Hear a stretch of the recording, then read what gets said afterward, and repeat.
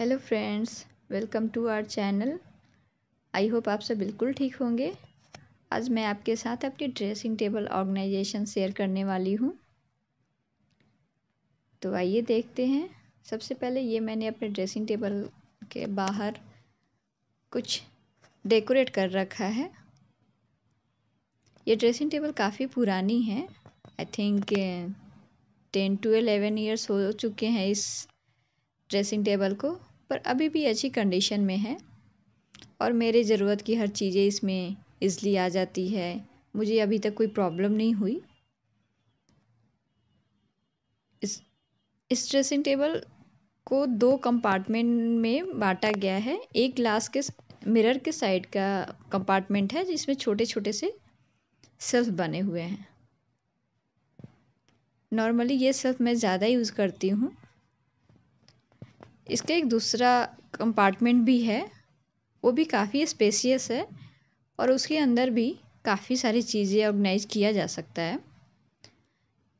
सबसे नीचे में मैंने एक स्वीट्स के बॉक्स में अपनी इयरिंग्स ऑर्गेनाइज कर रखे हैं।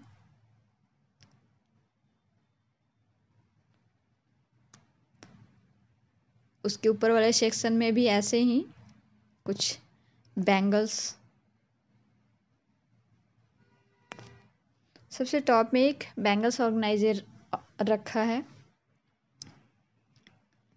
इस सेक्शन में बस इतना ही मैंने रखा है और बहुत ज़्यादा ये यूज़ फ्रिक्वेंटली यूज़ नहीं होता। मिरर के साइड वाला कंपार्टमेंट ज़्यादा यूज़ होता है।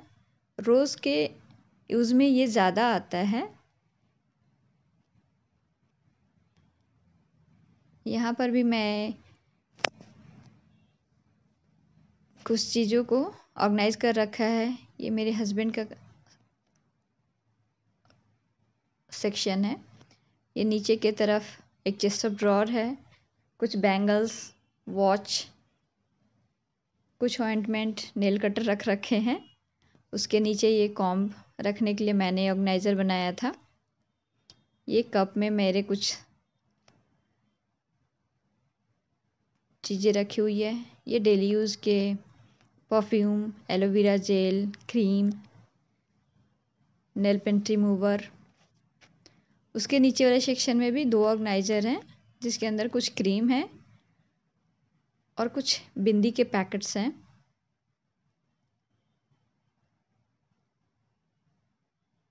उसके साइड में एक ये किसी ने मुझे गिफ्ट किया था, जिसमें मैंने अपने गले का सेट ऑर्गेनाइज करके रखा है। ये देखने में भी काफ़ी अच्छा लगता है।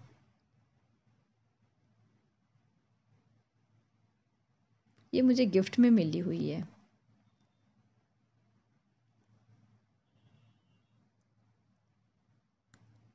उसके नीचे वाले सेक्शन में हेयर स्ट्रेटनर ड्रायर ऑयल बच्चों का क्रीम इस ड्रेसिंग टेबल के सबसे नीचे में एक सेल्फ बनी हुई है, जिसमें मैंने प्लास्टिक के दो बॉक्स यूज़ किया है एज ऑर्गेनाइजर जिसमें नेल पेंट फेस पैक कुछ क्लिप्स लिपस्टिक रखा है मैंने और इस तरह मैंने अपनी इस ड्रेसिंग टेबल को ऑर्गेनाइज कर रखा है।